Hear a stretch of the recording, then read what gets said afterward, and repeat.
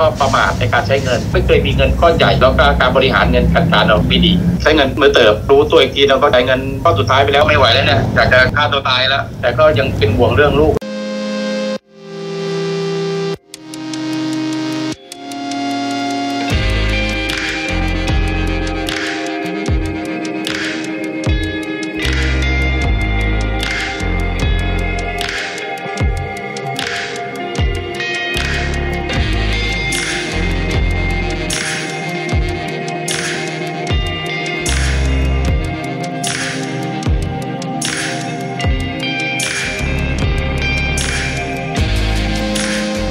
แย่แย่ครับผม ก็ตอนนี้ก็เป็นหนี้นอกระบบอยู่ที่ต้องจ่ายอยู่เป็นรายวัน บ้านเราเข้าธนาคารไม่ได้เพราะเรามีแบงค์ลงเป็นดิสด้วยอะไรเงี้ยเราจะเขาเราขายบ้านอย่างเดียวเศรษฐกิจไม่ดีอะไรหลายหลายๆอย่างเงินมันก็ค่อยร่อยหล่อร่อยหล่อไปเราขายบ้านออกไปอะไรเงี้ยตอนนี้คือว่าเรามีเงินในบัญชีไม่กี่ตังค์นะไม่กี่หมื่นแล้วก็มีบ้านที่จะกำลังจะขายออกไปเพราะถ้าเกิดเราเราไม่ขายบ้านออกไป เราก็จะไม่มีเงินทุนที่จะทำธุรกิจเนาะเราไม่เคยมีเงินก้อนเป็นเป็นหลักล้านหลายสิบล้านเนาะเราก็ประมาทในการใช้เงิน ไม่เคยมีเงินก้อนใหญ่แล้วก็การบริหารเงินการการเราก็มีไม่ดี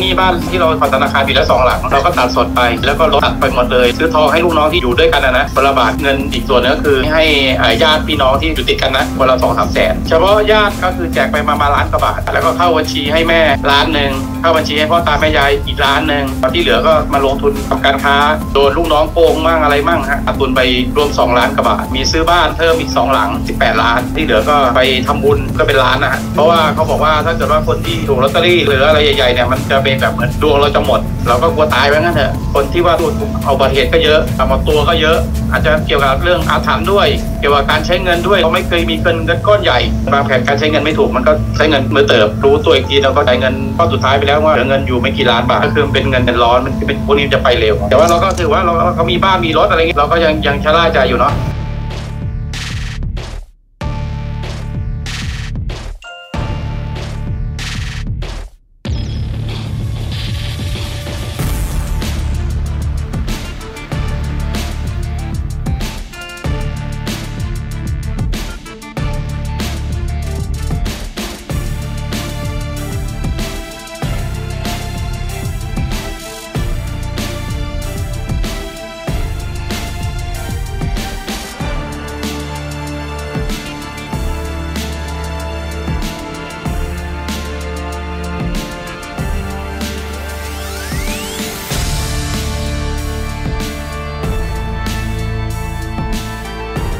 ก็ความเครียดเยอะ เยอะถึงขนาดแบบว่าเหมือนตอนนั้นมีข่าวเดี๋ยวคนนู้นก็ลมฟันในรถนู้นก็ผูกคอตายก็คุยกันบอกว่าพ่อไม่ไหวแล้วเนี่ยอยากจะฆ่าตัวตายแล้ว แต่ก็ยังเป็นห่วงเรื่องลูกเรื่องอะไร ถ้าเกิดว่าเราตายไปคนหนึ่งเนี่ยครอบครัวสงสัยต้องพังทลายแน่ๆเลย ก็เลยกลับมาฮึดสู้อีกครั้งหนึ่ง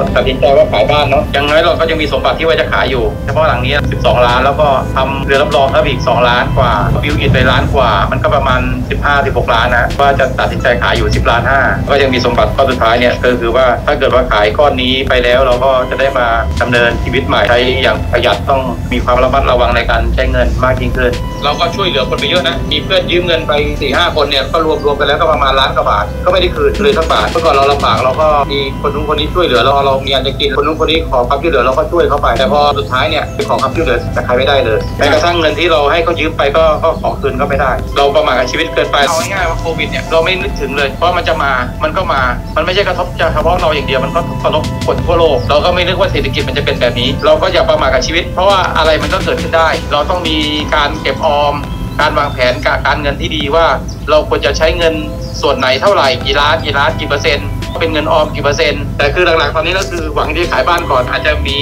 อะไรดีๆเข้ามาครับผมแต่ก็ยังหวังอยู่เนาะยังหวังลอตเตอรี่อยู่ก็ซื้อลอตเตอรี่ทุกงวดปีนี้ครับปีที่สิบแล้วก็ยังมีความหวังอยู่ว่าเป็นดวงของเราน่าจะมาอีกสักรอบนะรีบรีรีบรีแต่ก็ยังมีความหวังอยู่แต่ก็ยังไม่ไม่ประมาทแล้วเที่ยวนี้